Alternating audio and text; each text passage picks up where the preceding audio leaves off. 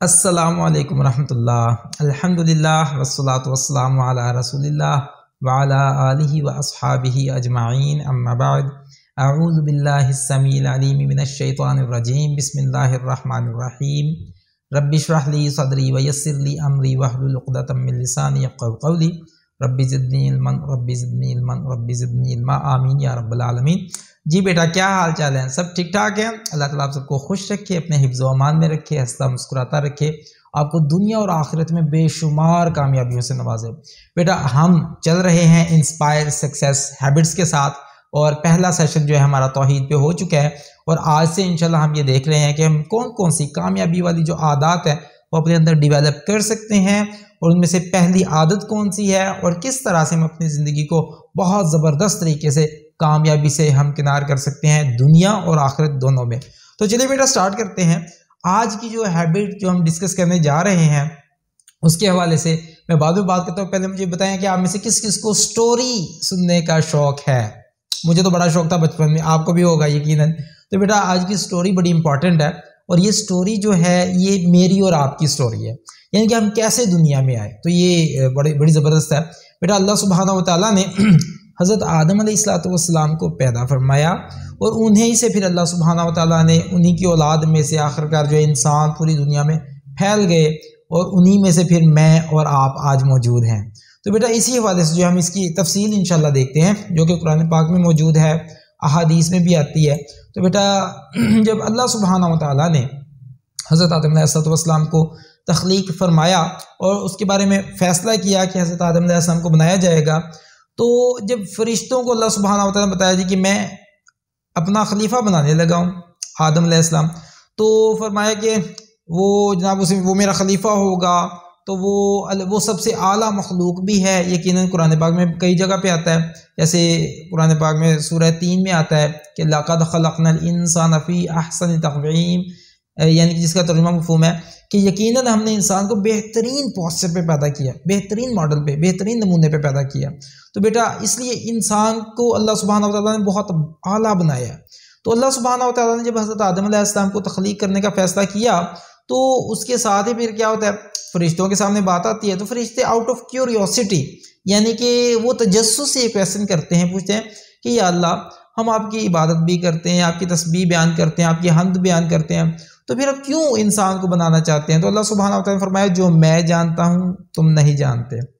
لہٰذا، یہاں سے بیٹا، ایک چیز تو ہمیں پتہ چلی کہ اللہ سبحانہ و تعالیٰ نے ہمیں پیدا کیا ہے اور اگر کوئی کویشچن ہوا ہے، ہماری تخلیق پہ تو اللہ سبحانہ و تعالیٰ نے اسٹریٹ فارورڈ کیا جواب دیا ہے کہ جو میں جانتا ہوں، وہ تم نہیں جانتے۔ اللہ سبحانہ و تعالیٰ کا جو علم ہے نا بیٹا، وہ اللہ محدود ہے۔ یعنی کہ آپ سمجھ لیں پوری دنیا میں جتنے بھی انسان ہیں، سب کے نالج کو وزڈم کو اکٹھا کر لیا جائے، تو وہ کچھ بھی نہیں بنتا اللہ سبحانہ و تعالیٰ کے علم اور اللہ سبحانہ و تعالیٰ کے نالج کے حساب سے۔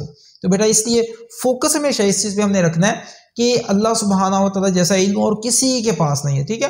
تو اس کے بعد پھر کیا ہوتا ہے؟ اللہ سبحانہ و تعالیٰ نے حکم دیا کہ جب میں بنا چکا ہوں حضرت آدم علیہ السلام کو اور ساتھ ہی اس میں اپنی روح سے پھونک دوں۔ تو فرمایا، تم نے اس میں سجدے میں گر جانا اس کے سامنے۔ یعنی کہ اس سے آدم کی عظمت کو واضح کیا۔ اور جب حکم دیا کہ فرشتوں نے بھی وہاں پہ سجدہ کرنا تھا، اور ساتھ ہی وہاں پہ ایک جن بھی موجود تھا، ابلیس یعنی کہ شیطان جو ہے، وہ بھی موجود تھا۔ اللہ سبحانہ و تعالیٰ نے اسے بہت عظمت سے نوازا تھا، اس لیے کہ وہ بہت عبادت گزار تھا۔ اللہ سبحانہ و تعالیٰ نے جب حکم دیا کہ جب میں بنا چکا ہوں گا آدم کو اور اس کے بعد اس میں اپنی روح سے اس میں سے پھونک دوں گا، تو پھر کیا کرنا ہے؟ پھر سب نے سجدہ کرنا ہے۔ اب فرشتوں نے تو سجدہ کیا، لیکن شیطان نے سجدہ کرنے سے انکار کر دیا۔ یہ بیٹا، یہاں سے ذرا اندازہ لگائیے کہ شیطان کو شروع سے بڑی تکلیف ہے انسان سے۔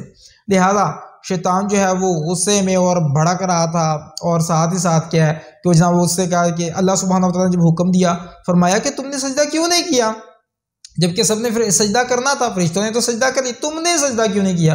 اسے کہا، یا اللہ، میں اس سے بہتر ہوں۔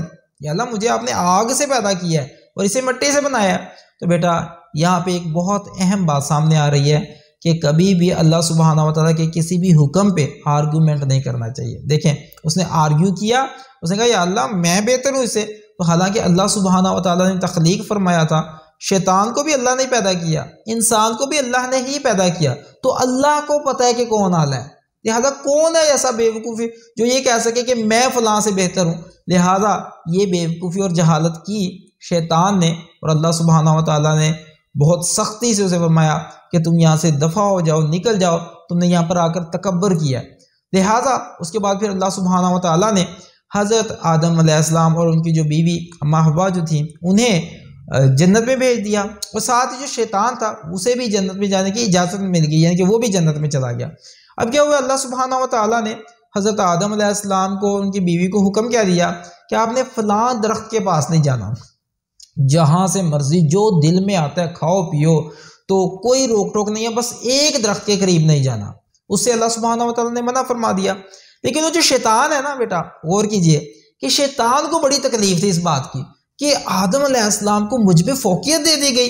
اور مجھے آدم علیہ السلام کی وجہ سے وہاں سے میرا جو سٹیٹس تھا، وہاں سے مجھے دھتکار دیا گیا، مجھے وہاں سے نکال دیا گیا۔ تو اسے بڑی تکلیف تھی اور بڑی نفرت تھی۔ لہٰذا اس نے کیا کیا؟ اس نے حضرت آدم علیہ السلام کو بھٹکانے کے لیے قسمیں کھا کھا کے کہنا شروع کر دیا کہ میں تمہیں ایسے درخت کے بارے میں بتاتا ہوں کہ اگر تم اس کے پھل سے کھا لو گے، اس کے پاس چلے جاؤ گے، تو تم وہاں پہ، تم یہاں پہ ہمیشہ رہنے والے ہو جاؤ گے۔ بلکہ ایک اور جگہ پہ آتا ہے کہ تم مقرب فرشتے بن جاؤ گے۔ لہٰذا یہ جو ابلیس نے وعدہ کر کے، قسمیں کھا کھا کے، یہ کہا کہ میں تو تمہارا خیر خواہ ہوں، اور اسی درخت کے بارے میں اس نے کہا جس کے بارے میں اللہ سبحانہ و تعالیٰ نے منع فرمایا تھا۔ تو بیٹا دیکھیں، حضرت آدم علیہ السلام نے یعنی کہ اگر اسی درخت سے پھر وہ اس پھل سے کھا لیا، جو کہ اصل پرپز یہ تھا، ان کے دل میں نیکی کا ہی جذبہ تھا کہ شاید وہ مزید اللہ سبحانہ و تعالیٰ کے قریب ہو جائیں۔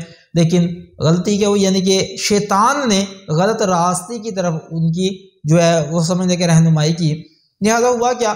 حضرت آدم علیہ السلام نے غلطی نہیں کی، ہم یہ نہیں کہہ سکتے کہ ان سے کوئی گناہ ہوا۔ کیونکہ انبیاء علیہ والسلام بیٹا جتنے بھی ہوتے ہیں، وہ غلطیوں سے پاک ہوتے ہیں، گناہوں سے پاک ہوتے ہیں۔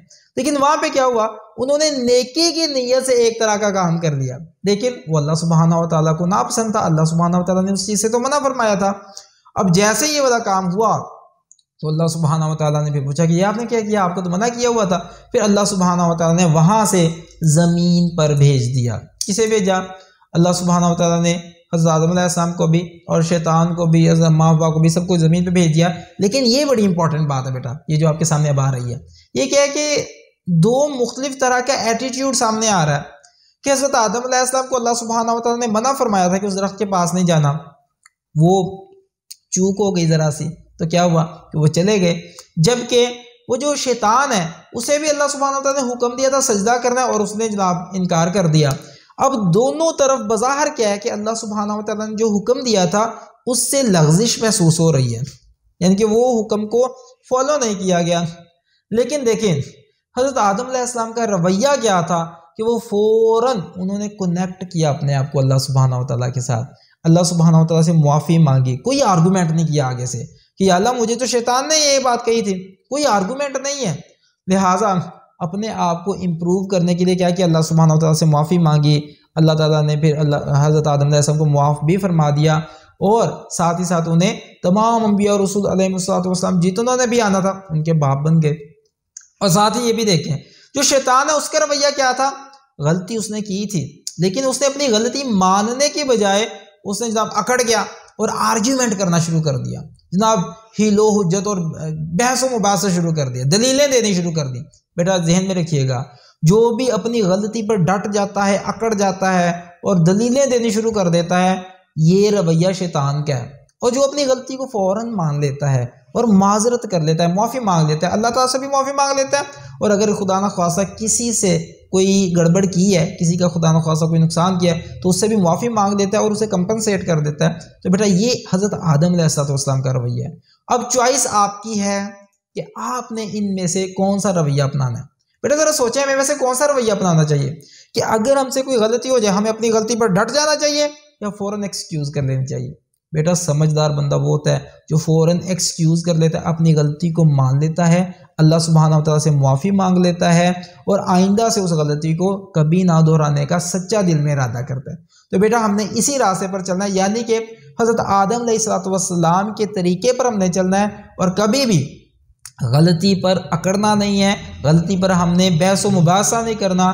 کوئی ہم نے دلیلیں نہیں دینی، بلکہ فوراً معافی مانگ دینی اللہ تعالیٰ سے۔ ٹھیک ہے بیٹا؟ یہ ہمارے سامنے ایک بڑی زبردست قسم کی بات آئی، ہمیں اپنے آپ کو امپروو کرنے کے حوالے سے۔ لہٰذا اس کے بعد پھر کیا ہوتا ہے؟ اللہ سبحانہ و تعالیٰ نے جب زمین پر بھیج دیا، حضرت آدم علیہ السلام بھی زمین پر آ گئے، ماں ہوا جو ہیں وہ بھی زمین پر آ گئیں، اور اس کے بعد جو شیطان تھا وہ بھی زمین پر آ گیا۔ تو پھر اللہ سبحانہ و تعالیٰ نے ہمیں ایک بہترین قسم کی گائیڈ لائن دی۔ وہ کیا؟ فرمایا کہ اب میری طرف سے تمہاری طرف ہدایت آئے گی۔ لہٰذا جو بھی یہ میں آپ کو یہ جو آیت مبارکہ آپ کے سامنے اسکرین پہ آپ کو نظر آ رہی ہے، اس آیت مبارکہ کا میں آپ کے سامنے ترجمہ مفہوم رکھ رہا ہوں۔ کیا ہے کہ میری طرف سے جب بھی تمہارے پاس ہدایت آئے گی، جو بھی اس کے مطابق زندگی گزارے گا یعنی کہ اللہ سبحانہ و تعالیٰ کے احکامات آئیں گے آپ کے پاس، تو ان میں سے تم میں سے جو بھی اس کے مطابق زندگی گزارے گا، اللہ سبحانہ و تعالیٰ نے فرمایا، اسے کسی قسم کا خوف نہیں ہوگا۔ اور نہ ہی اسے کسی قسم کا اس کے لیے کوئی غم ہوگا۔ اس کا کیا مطلب ہے کہ آنے والے وقت کا اسے کوئی ڈر نہیں ہوگا۔ اللہ سبحانہ و تعالیٰ اسے بہترین نعم البدلتا فرمائیں گے۔ اسے وہ جو بھی عمل کرے گا اللہ تعالیٰ کی مرضی کے مطابق اللہ سبحانہ و تعالیٰ اس کے آنے والے وقت کو پہلے سے بہتر بناتے چلے جائیں گے۔ اور آخر کار آخرت میں بیسٹ اسے لائف ملے گی۔ یعنی کہ انشاءاللہ جنت میں اللہ سبحانہ و تعالیٰ اسے داخل فرمائیں گے۔ جہاں سے حضرت علیہ السلام کو نکالا گیا، انشاءاللہ وہیں پر واپس جائیں گے۔ لیکن کون؟ جو اللہ سبحانہ و تعالیٰ کی مرضی کے مطابق زندگی گزاریں گے۔ بیٹا ذرا دیکھیں کتنی زبردست قسم کی سکسیس ہے۔ اور ساتھ ہی یہ بھی فرما دیا کہ نہ ہی جو کچھ اس نے کیا ہوگا، اگر خدا نہ خواصہ کوئی غلطی کو تاہی ہو بھی گئی ہوگی، لیکن اس نے معافی والا رویہ اپنایا ہوگا، معافی مانگی ہوگی، اللہ تعالیٰ سے توبہ کی ہوگی اپنے گناہوں کی اور آئندہ انہیں چھوڑ دیا ہوگا گناہ والے گناہوں والے راستے کو۔ تو فرمایا، پھر اسے کسی قسم کا غم بھی نہیں ہوگا۔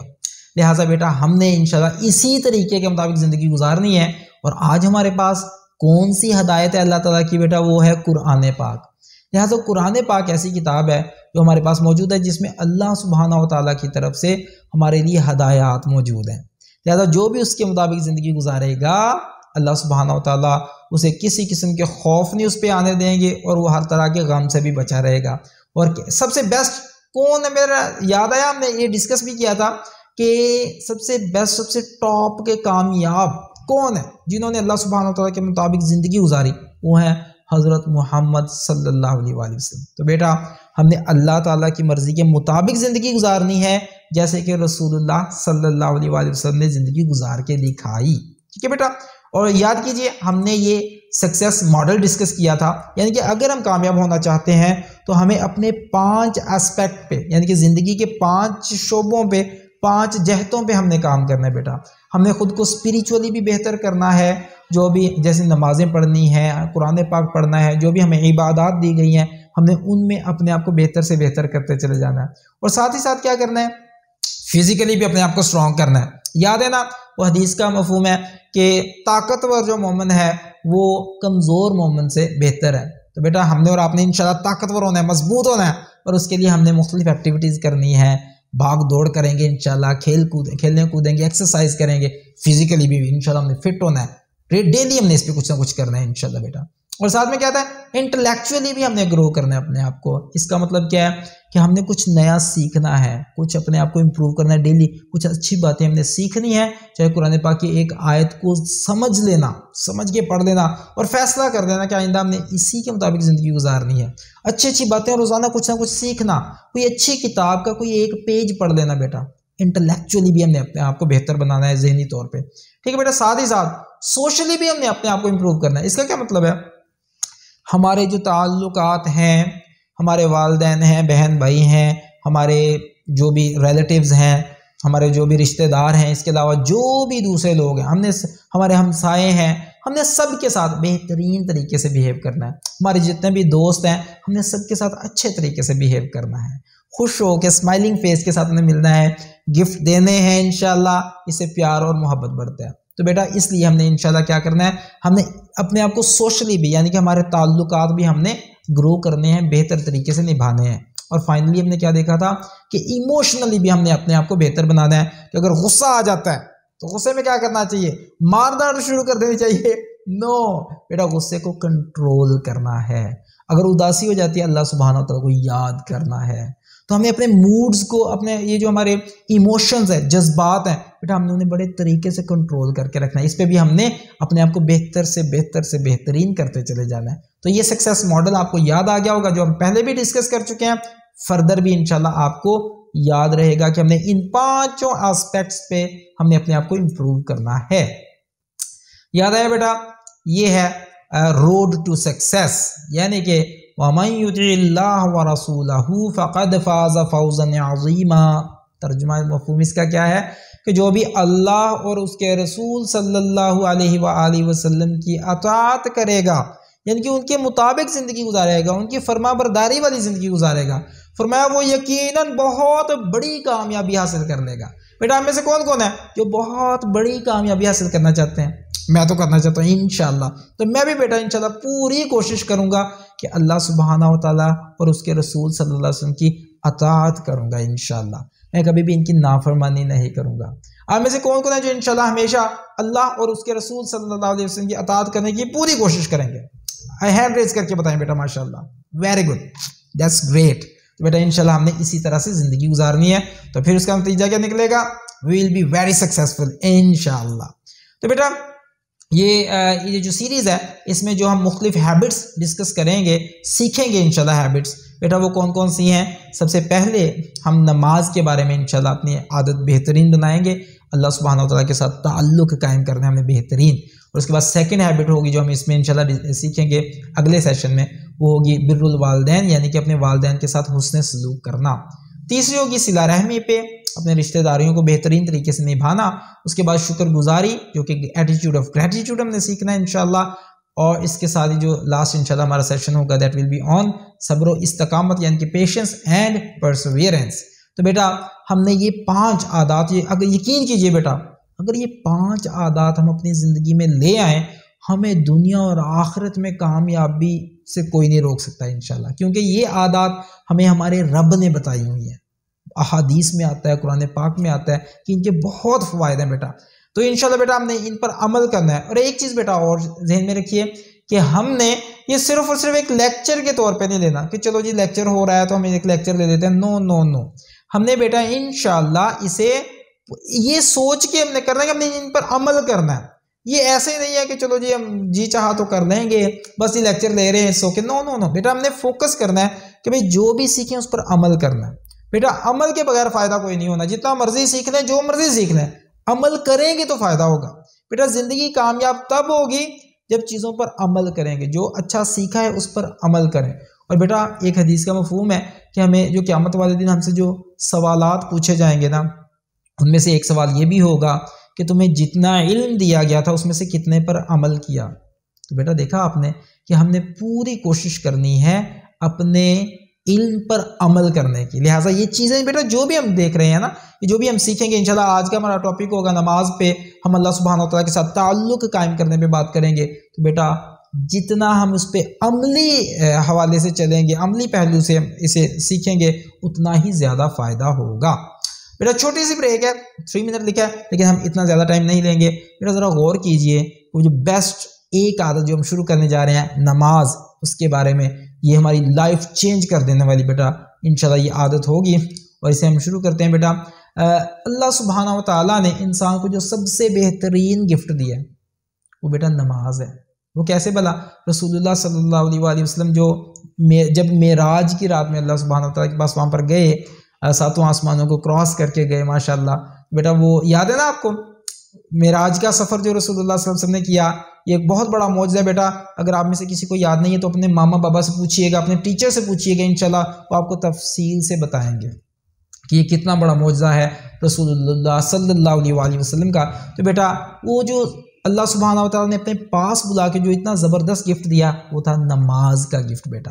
اب ذرا تصور فرمائیے۔ اور اللہ سبحانہ و تعالیٰ نے ہمیں تو اتنے گفٹ دیے ہیں، اتنی نعمتیں دی ہیں ہمیں۔ بیٹا، دیکھیں ذرا۔ پیرنٹس ہیں، ہمارے والدین ہیں، انہیں پوچھیں جن کے والدین نہیں ہیں۔ تو بیٹا ان پہ وہ بیچارے کتنے پریشان ہیں۔ تو یہ ایک نعمت ہے، بہت بڑی نعمت ہے۔ اسی طرح سے رشتہ دار ہیں، یہ اللہ سبحانہ و تعالیٰ کی طرف سے ہمارے لیے نعمت ہے۔ اچھی صحت، مال و دولت جتنے بھی ہے بیٹا، اللہ سبحانہ و تعالیٰ کی طرف سے یہ بہت بڑی نعمتیں ہمارے لیے۔ نالج علم، یہ بہت بڑی نعمت ہے۔ گھر، سورج، بیٹا دیکھیں، ہمیں سورج سے حرارت کی ضرورت ہوتی ہے، اللہ سبحانہ و تعالیٰ ہمیں حرارت پرووائڈ کرتے ہیں۔ اللہ سبحانہ و تعالیٰ میں سورج کے ذریعے سے اتنے فوائد ہیں سورج کے ذریعے سے، آپ بیٹا سوچ بھی نہیں سکتے۔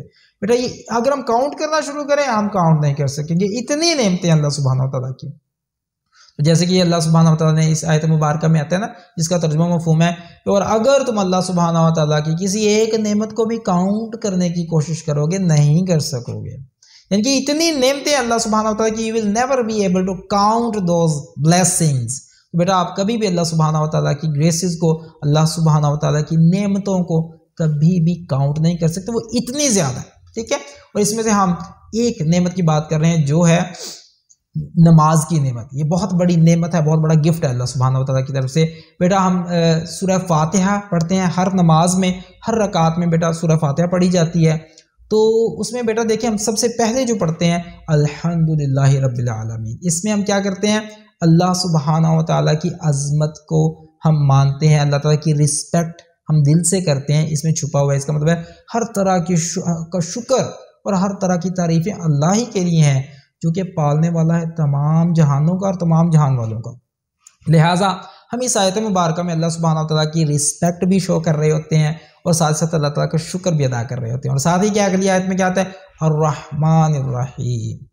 یعنی کہ ہم وہ بڑا مہربان ہے، اس نے میں اتنی نعمتوں سے نوازا، وہ بڑا ہی رحم کرنے والا ہے۔ بیٹا، یہاں سے ہمارا لو جو ہے، ہماری محبت جو ہے، وہ اللہ سبحانہ و تعالیٰ کے لیے جو ہے، وہ نچھاور ہو رہی ہے اس آیت مبارکہ میں۔ اور اسی طرح سے بیٹا، مزید دیکھیں کہ جو کچھ بھی آسمان و زمین میں ہے، وہ اللہ تعالیٰ کے لیے ہے۔ لہٰذا اللہ سبحانہ و تعالیٰ کی اتھارٹی الٹیمیٹ اتھارٹی ہے بیٹا۔ ہم اگلی آیت میں پڑھتے ہیں نا، مالک یوم الدین اس کا مطلب ہے کہ ہم اللہ سبحانہ ہوا تعالیٰ کی عظمت کو اس کا اقرار کر رہے ہوتے ہیں کہ اللہ سبحانہ و تعالیٰ مالک ہیں اس دن کا جس دن ساری کی ساری اتھارٹی اللہ تعالیٰ کی ہوگی جو اللہ چاہے گا فیصلہ کرے گا وہ فیصلے کے دن کا مالک ہے تو بیٹا ہم اللہ سبحانہ و تعالیٰ کی عظمت کو بھی پہچانتے ہیں دیکھیں ذرا سورہ فاتحہ میں ہمیں کتنی زبردست قسم کی ہدایات مل رہی ہیں اور یہ کس طرح مل رہی ہیں؟ ہم ہر نماز میں، ہر رکعت میں بیٹا پڑھتے ہیں تو اس طرح سے ہمیں کامیابی کے جو اصول ہیں وہ مل رہے ہیں۔ اسی طرح بیٹا، مزید آپ کو یہ دیکھیں کہ یہ حضور صلی اللہ علیہ وآلہ وسلم کی حدیث مبارکہ سے، جیسے کہ وہ ہمارے سامنے آیا تھا شاید ہم نے پہلے بھی ڈسکس کیا تھا کہ نہیں تھا کہ ہمیں یاد نہیں ہے۔ آپ یاد کیجیے کہ ہم نے کیا تھا کہ نہیں کیا تھا۔ اور آج میں آپ کو اس کے بارے میں کلیئرلی بیٹا بتاتا ہوں کہ رسول اللہ صلی اللہ علیہ وآلہ وسلم نے فرمایا، حدیث کا مفہوم ہے کہ اللہ سبحانہ و تعالیٰ کو یہ جب پوچھا گیا نا کہ سب سے زیادہ محبوب عمل کون سا ہے؟ اللہ سبحانہ و تعالیٰ کو سب سے زیادہ پسندیدہ عمل کون سا ہے؟ تو فرمایا، نماز کو اس کے وقت پر ادا کرنا۔ دیکھیں بیٹے، کتنا زبردست، اللہ سبحانہ تعالیٰ کو یہ بہت پسند ہے یہ والا عمل۔ اور دوسرا فرمایا، دوسرے نمبر پہ اپنے والدین کے ساتھ حسن سلوک کرنا۔ اور تیسرے نمبر پہ آتا ہے کہ جہاد فی سبیل اللہ یعنی کہ اللہ سبحانہ و تعالیٰ کے راستے میں سٹرگل کرنا ایفرٹ کرنا، اللہ سبحانہ و تعالیٰ کے دین کی سر بلندی کے لیے کوشش کرنا۔ بیٹا، آج ہم انشاءاللہ ڈسکس کر رہے ہیں پہلی عادت، وہ جو سب سے محبوب عمل ہے نا، اللہ سبحانہ و تعالیٰ کا، وہ کون سا ہے؟ نماز کو اس کے وقت پر ادا کرنا۔ بیٹا ہم میں سے کون کون ہے جو انشاءاللہ ہمیشہ نماز کو اس کے وقت پر ادا کریں گے؟ انشاءاللہ میں بھی کروں گا۔ Very good you are all great ماشاء اللہ بیٹا، بہت اچھی بات ہے۔ لہٰذا بیٹا، ہم یہ دیکھ رہے ہیں کہ آپ کو یاد ہے بیٹا، جب اذان ہوتی ہے تو ہمارے لیے کیا آواز آتی ہے؟ حیا علی الصلاح حیا علی الفلاح۔ اس کا مطلب کیا ہے کہ آؤ نماز کی طرف، آؤ کامیابی کی طرف۔ تو بیٹا اللہ سبحانہ و تعالیٰ کی طرف سے وہ جو ہمیں اذان کے الفاظ ہمارے کانوں میں پڑھتے ہیں نا، اس کا مطلب کہ یہ اللہ سبحانہ و تعالیٰ کی طرف سے ایک انویٹیشن ہوتا ہے ہمارے لیے۔ کہ ہم میں سے جو بھی آنا چاہتے ہیں، وہ آئے نماز کی طرف، کیونکہ نماز ہی آپ کو کہاں تک لے جائے گی؟ کامیابی کی طرف۔ تو بیٹا جو بھی بندہ دنیا اور آخرت میں کامیاب ہونا چاہتا ہے، بیٹا نماز تو لازمی ہے۔ نماز کے بغیر ایک انسان کبھی بھی کامیاب نہیں ہو سکتا ہے۔ اس کے اتنے بینیفٹس ہیں بیٹا وی کی ناٹ کاؤنٹ اٹ ٹھیک ہے؟ اس کے فزیکلی بھی بہت سارے بینیفٹس ہیں اسپریچولی بہت سارے بینیفٹس ہیں ایموشنلی بہت بینیفٹس ہیں۔ بیٹا، لیکن ہم نے اللہ سبحانہ و تعالیٰ کی فرما برداری کے لیے نماز پڑھنی ہے۔ بینیفٹس تو اللہ سبحانہ و تعالیٰ کی رحمت سے ہمیں ملیں گے ہی ملیں گے، لیکن ہم نے اس لیے پڑھنی ہے کہ میرا رب مجھ سے راضی ہو جائے۔ اللہ تعالیٰ کا حکم ہے نماز پڑھنی ہے ہم پڑھیں گے انشاءاللہ۔ بیٹا میں سے کون کون جو پڑھیں گے؟ انشاءاللہ میں بھی پڑھوں گا۔ ویری گڈ نیکسٹ نیکسٹ بیٹا، ہمارے پاس جو بڑی خوبصورت چیز آ رہی ہے، دیکھیں، آیات مبارکہ سے بھی ہمیں پتہ چلتا ہے قرآن پاک میں نماز کا حکم کئی جگہوں پر آیا۔ ٹھیک ہے بیٹا؟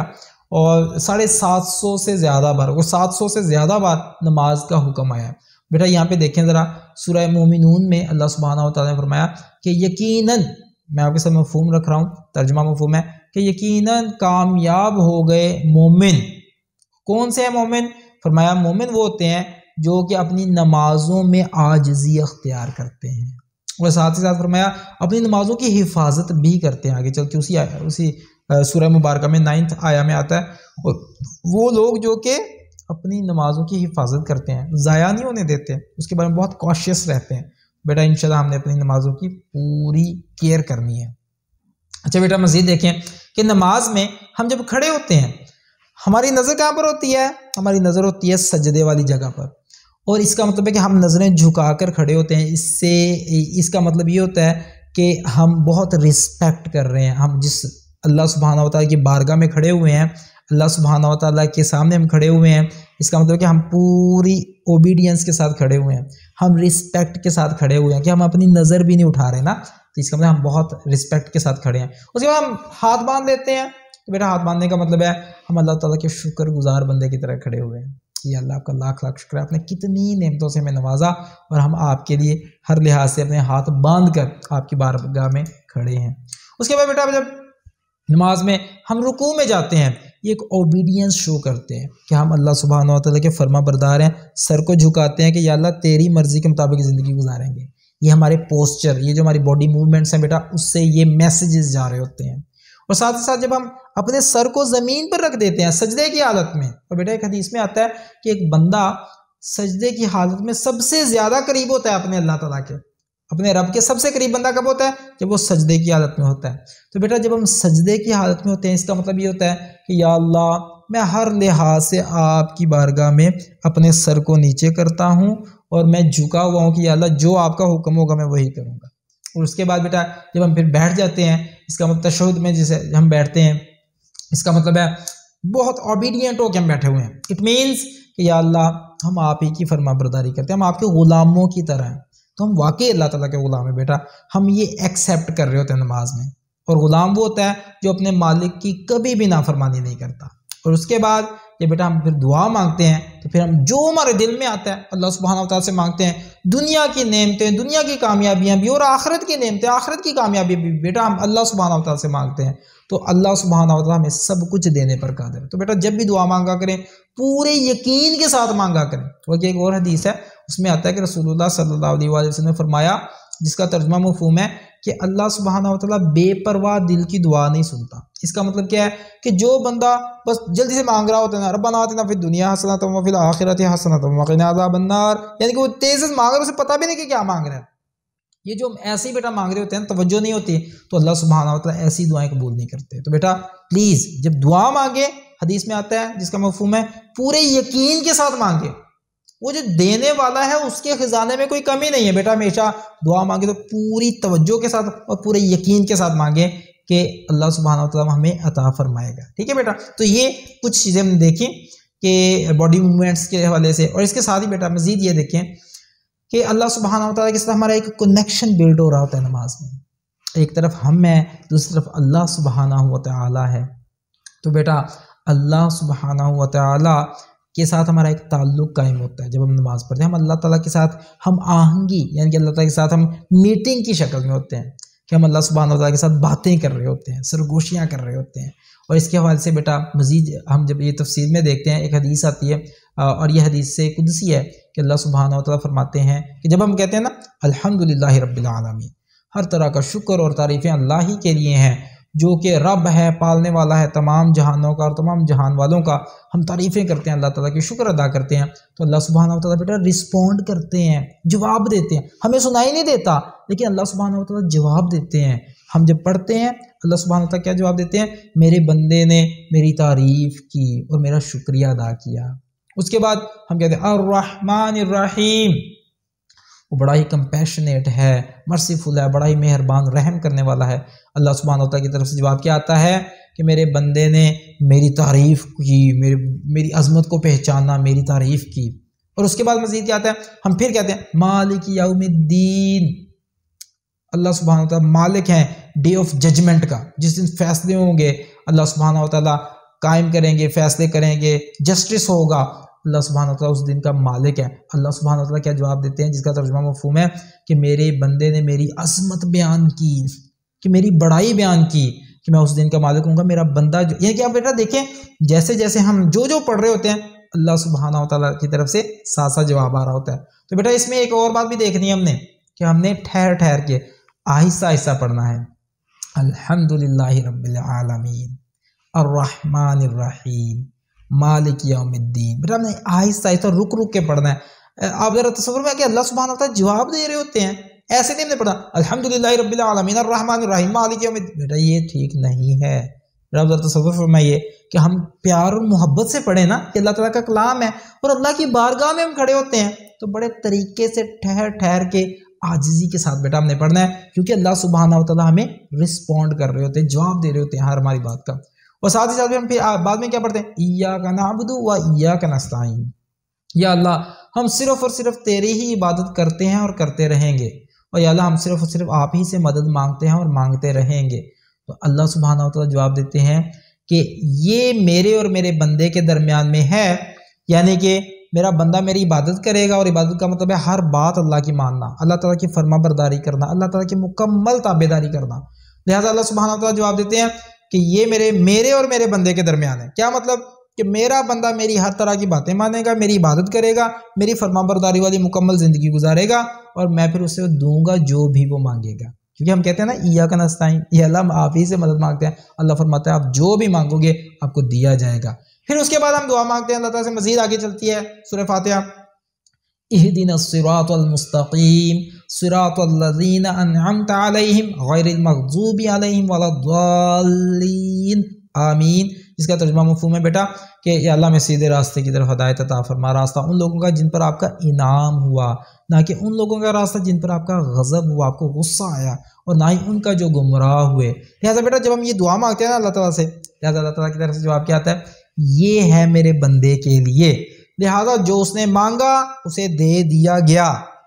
تو بیٹا تصور کیجیے کتنی خوبصورت ایک ہماری کمیونیکیشن ہو رہی ہوتی ہے اللہ تعالیٰ کے ساتھ ہم ادھر سے سورہ فاتحہ کی ایک ایک آیت پڑھ رہے ہوتے ہیں اللہ سبحانہ تعالیٰ کی طرف سے ساتھ جواب آ رہا ہوتا ہے تو بیٹا یہ کمیونیکیشن ہے یہ ہماری میٹنگ ہو رہی ہوتی ہے اللہ سبحانہ تعالیٰ کے ساتھ ذرا تصور فرمائیں اللہ سبحانہ تعالیٰ کتنے عظیم الشان ہے لیکن انہیں ہمیں شرف دیا ہے ہمیں یہ موقع عطا فرمایا کہ ہم اللہ تعالیٰ کے ساتھ میٹنگ کر سکیں اور روزانہ پانچ بار ہم اللہ سبحانہ تعالیٰ کے ساتھ میٹنگ کرتے ہیں اور اس کے علاوہ بھی دیکھیں بیٹا، یہ تو پانچ فرائض، فرض نمازیں ہیں نا، فجر، ظہر، عصر، مغرب اور عشاء۔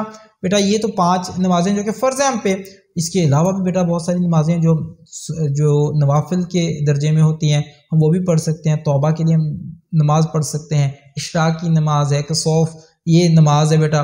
تحجد کی نماز ہے۔ تو بیٹا، ہم سننا پڑھتے ہیں فجر سے یعنی کہ فرض سے۔ پہلے اور بعد میں جو سننا، نوافل ہم پڑھتے ہیں۔ یہ سارے کی ساری بیٹا مختلف نمازیں ہیں۔ اور ایک اور نماز ہے بیٹا جو کہ نماز استخارہ ہوتی ہے، وہ اس میں کیا ہوتا ہے کہ جب ہم اگر کوئی ہم بڑا فیصلہ کرنا چاہتے ہیں، کوئی بڑا سیریس قسم کا ڈسیزن لینا چاہتے ہیں، کوئی بزنس ہے، شادی کے حوالے سے یا کوئی بھی سیریس فیصلہ کرنا چاہتے ہیں اور ہم کنفیوز ہیں، ہمیں پتہ نہیں چل رہا کہ ہمیں یہ کام کرنا چاہیے کہ نہیں کرنا چاہیے۔ تو اس کے لیے بھی بیٹا ہمیں سکھایا کہ ہم استخارہ کی دعا مانگیں نماز پڑھ کے۔ تو بیٹا، اس کا فائدہ کیا ہوتا ہے؟ اللہ سبحانہ و تعالیٰ ہمیں گائیڈ کر دیتے ہیں کہ ہمیں کیا کرنا چاہیے اور کیا نہیں کرنا چاہیے۔ جو ہمارے لیے فائدہ مند ہوتا ہے، وہ اللہ سبحانہ و تعالیٰ ہمارے لیے مقرر کر دیتے ہیں۔ اور جو چیز ہمارے لیے نقصان دہ ہوتی ہے، اللہ سبحانہ و تعالیٰ ہمیں اس سے بچا دیتے ہیں۔ تو بیٹا، دیکھیں، یہ ہمارے پاس اپرچونیٹیز ہیں۔ یعنی کہ جو نمازیں ہیں، یہ ساری کی ساری اپرچونیٹیز ہیں اللہ سبحانہ و تعالیٰ کے ساتھ، ملنے کے اللہ سبحانہ و تعالیٰ کے ساتھ ایک تعلق قائم کرنے کی۔ ٹھیک ہے بیٹا؟ لہذا یہ بھی آپ کو یاد ہوگا بیٹا پرانے پاک میں آتا ہے کہ یا ایوہ الذین آمنوا استعینوا بالصبر والصلاة۔ فرمایا کہ اے ایمان والو، اللہ تعالیٰ سے مدد مانگا کرو۔ لیکن مدد مانگنی کیسے ہے؟ ترجمہ مفہوم آپ کے سامنے بیٹا پیش کر رہا ہوں۔ فرمایا کہ اے ایمان والو، مدد مانگا کرو صبر سے اور نماز کے ذریعے سے۔ لہٰذا اگر ہم میں سے کسی کو بھی کوئی پریشانی ہے، فوراً اللہ سبحانہ تعالیٰ سے مدد مانگیں۔ کیسے؟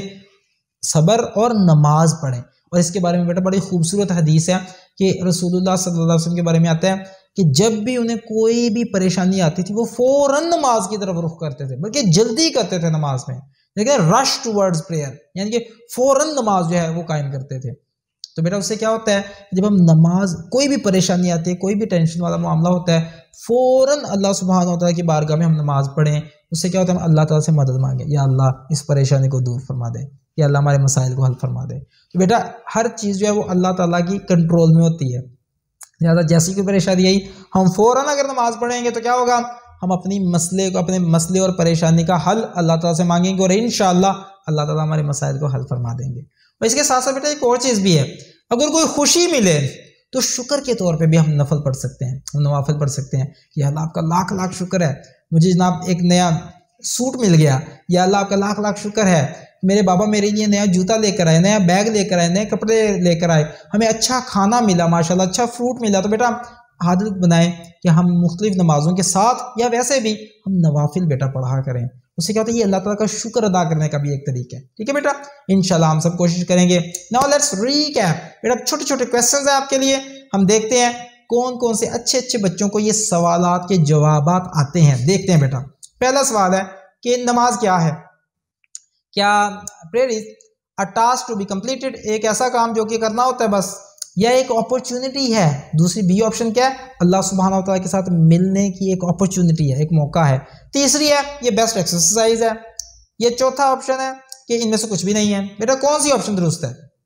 ویری گڈ آپ سب کو پتا ہے کہ this is an opportunity to meet Allah کہ یہ اللہ سبحانہ و تعالیٰ کے ساتھ ملاقات کا ایک موقع ہے۔ ماشاء اللہ ویری گڈ اس کے بعد نیکسٹ آپشن ہے بیٹا کوشچن ہے نیکسٹ کیا ہے؟ What is most beloved deed to Allah سبحانہ و تعالیٰ یعنی کہ اللہ تعالیٰ کو سب سے پسندیدہ عمل اللہ تعالیٰ کا کون سا ہے؟ آپشن اے ہے پریئر ایٹ اٹس ٹائم نماز اس کے وقت پر ادا کرنا، یا زکوٰۃ یا حج۔ کون سی بیٹا ان میں سے صحیح آپشن ہے؟ ویری گڈ ماشاء اللہ آپ سب کو پتا ہے کہ پہلی آپشن درست ہے کہ سب سے محبوب اللہ تعالیٰ کو کون سا عمل ہے؟ کہ نماز اس کے وقت پر ادا کرنا، مقررہ وقت پر ادا کرنا۔ اس کے بعد بیٹا اگر ہمیں کسی بھی فیصلے میں کوئی کنفیوژن ہوتی ہے، کوئی پریشانی ہوتی ہے، تو پھر ہمیں کیا کرنا چاہیے؟ جو ہم اس وقت جو نماز پڑھتے ہیں، اس نماز کا کیا نام ہے؟ تحجد پڑھتے ہیں صلاۃ الاستخارہ پڑھتے ہیں، یا تحیت المسجد پڑھتے ہیں۔ یاد آیا بیٹا؟ ویری گڈ ماشاء اللہ آپ کو یاد ہے کہ بی آپشن کریکٹ ہے۔ ہم استخارہ کرتے ہیں۔ تو بیٹا، یہ آپ بھی کوشش کریں، جب بھی کوئی فیصلہ جس کے بارے میں آپ تھوڑے کنفیوز ہوں، پریشان ہوں کہ پتہ نہیں کیا کرنا چاہیے کرنا چاہیے، نہیں کرنا چاہیے، بیٹا، استخارہ کریں گے، سارا معاملہ سیٹ ہو جائے گا، انشاءاللہ۔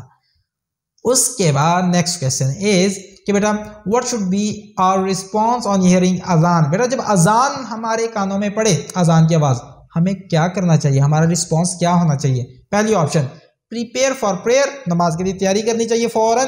دوسری اگنور کر دینا چاہیے۔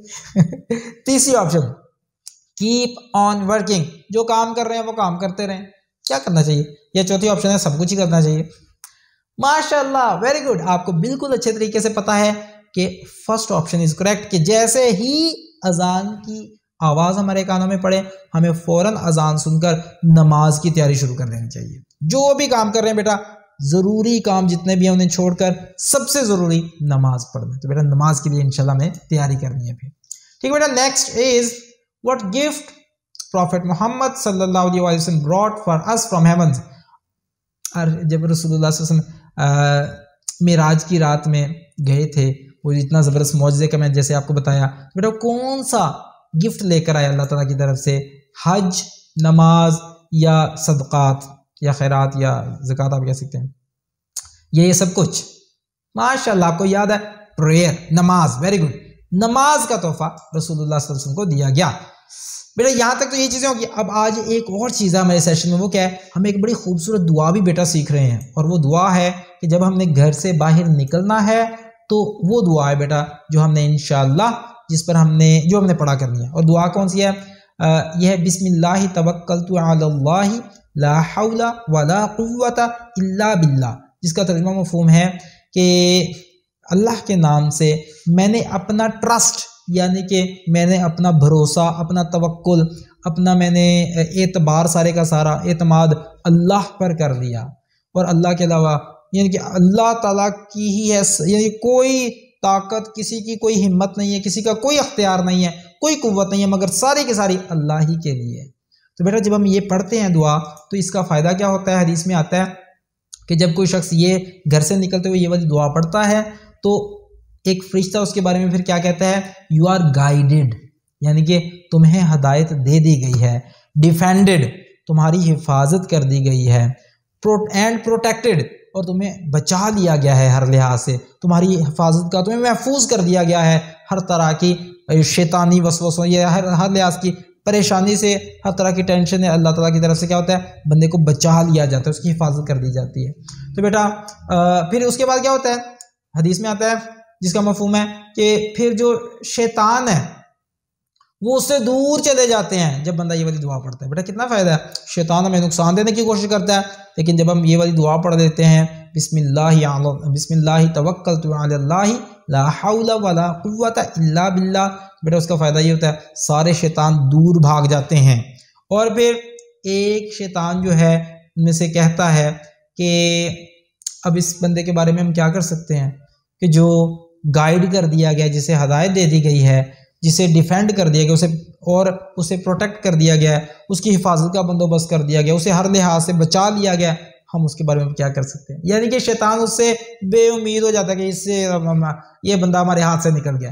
بیٹا، ہمیشہ ہم نے یہ والی دعا پڑھنی ہے جب بھی ہم نے گھر سے نکلنا ہے اور اب آپ کی ایکٹیویٹیز ہیں جو بیٹا آپ نے گھر میں انشاءاللہ کرنی ہے سب سے پہلے تو یہ کرنا ہے کہ اپنی فیملی کے ساتھ آپ نے ڈسکس کرنے ہیں، یہ والی پوائنٹس جو ہم نے آج سیکھے ہیں نماز کے حوالے سے۔ اور اس کے کیا کیا فوائد ہیں؟ یہ ساری چیزیں بیٹا آپ نے انشاءاللہ ڈسکس کرنی ہے اپنے پیرنٹس کے ساتھ، ٹھیک ہے بیٹا؟ اپنے بہن بھائیوں کے ساتھ بھی کریں، دوستوں کے ساتھ بھی کریں اگر آپ کرنا چاہیں دیٹس گڈ ویری گڈ اور سیکنڈ پوائنٹ بیٹا کیا ہے؟ آپ نے سمری پوائنٹس بنانے ہیں بیٹا۔ یعنی کہ جو چیزیں ہم نے سیکھی ہیں، ان کے پوائنٹس لکھ لیں کہیں پہ، تاکہ آپ کو یاد رہے اچھے طریقے سے۔ اور تیسرا کام ہے بیٹا، یہ ایک بڑی خوبصورت چیز ہے اور یہ آپ کو اس ویڈیو کے ساتھ لنک میں آپ کو مل جائے گی۔ ڈسکرپشن میں لنک موجود ہے۔ وہاں سے بیٹا آپ اسے ڈاؤن لوڈ بھی کر سکیں گے انشاءاللہ۔ یہ ہے پریئر ٹریکر اچھا اس میں بیٹا کیا ہوگا کہ یہ جو ہے نا، آپ نے یہاں پر اپنا نام لکھنا ہے۔ یعنی کہ یہاں پہ جو بھی آپ کا نام ہے، آپ نام لکھیں گے۔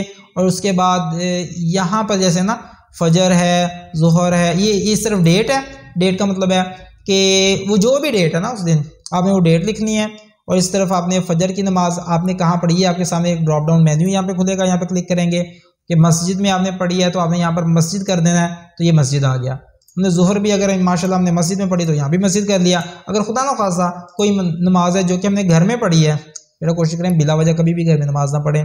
اگر آپ میل ہیں تو ہمیشہ مسجد میں نماز پڑھیں۔ اور اگر بیٹی ہیں، بچی ہیں تو وہ پھر گھر میں نماز پڑھ سکتے ہیں۔ ٹھیک ہے بیٹا؟ اگر گھر میں نماز پڑھی ہے تو یہاں پہ آپ ہوم لکھ دیں اور اگر اس طرح مغرب ہے فار ایگزامپل اگر یہ خدا نخواستہ لیٹ ہو گئی ہے، تو اسے لیٹ کر دیں یعنی کہ یہاں پہ کر دیں۔ اور ساتھ ساتھ اگر باقی ہم نے جو عشاء ہے، وہ اگر ہم نے مسجد میں پڑھی ہے تو ہم نے یعنی کہ جو ہم نے نماز جہاں پڑھی ہے، جو بھی ہماری سچویشن ہے، وہ ساری بیٹا لکھ دیجیے۔ یہاں پہ سلیکٹ کر لیں، یہ پورے منتھ کو بیٹا آپ نے اس طرف سے فل کر دینا ہے۔ اور اس کے نتیجے میں کیا ہوگا کہ سارا منتھ جب یہ کمپلیٹ ہو جائے گا، یہ سارا ہم فل کر چکے ہوں گے، تو نیچے یہ سمری موجود ہے۔ سمری میں کیا ہو گیا؟ یہاں پہ بتایا جائے سارا پتا چل جائے گا ہمیں کہ پورے منتھ میں ہمارا کیا صورتحال رہی ہے نماز کے حوالے سے، کہ ہم نے کتنی نمازیں مسجد میں پڑھی ہیں۔ دیکھا بیٹا ہم نے، وہ جو دو ہم نے پورشن ہم نے فل کیا ہے دو دن کا، تو اس میں بتایا کہ آٹھ نمازیں مسجد میں پڑھی ہیں، ایک گھر میں پڑھی ہے، ایک لیٹ پڑھی ہے۔ تو بیٹا اس سے ہمارے پورے ماہ کی سمری ہمارے سامنے آ جائے گی کہ ہم نے کون سی نماز جو ہے اور وہ کس وقت ہم نے پڑھی ہے۔ ٹھیک ہے بیٹا اور کہاں پر پڑھی ہے؟ تو بیٹا اس لیے یہ آپ کے لیے ایک بڑا خوبصورت سا گفٹ ہے اور بڑا مزہ آئے گا جب آپ اسے فل کریں گے بیٹا۔ تو یہ بیٹا آج کی ہیبٹ تھی۔ بیٹا دعا میں یاد رکھیے گا اور پوری کوشش کریں اسے اپلائی کریں۔ عمل کریں گے تو بیٹا فائدہ ہوگا۔ خود بھی عمل کیجیے، اپنے گھر والوں کو، دوسروں کو بھی اسی چیز کی دعوت بھی دیجیے بیٹا۔ ان سے ڈسکس کیجیے تو اس کا بہت فائدہ ہوگا انشاءاللہ۔ دعا میں یاد رکھیے گا۔ نیکسٹ سیشن تک کے لیے بیٹا بہت شکریہ آپ کا۔ السلام علیکم ورحمۃ اللہ وبرکاتہ۔